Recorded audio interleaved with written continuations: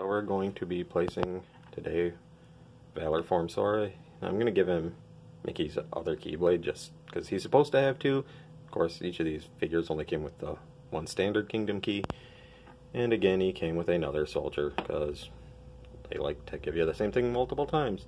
So he goes back in the box. That one will come up here. We'll just place that soldier right there. There we go. Can't wait to be done with all the different Sora figures, that's for sure.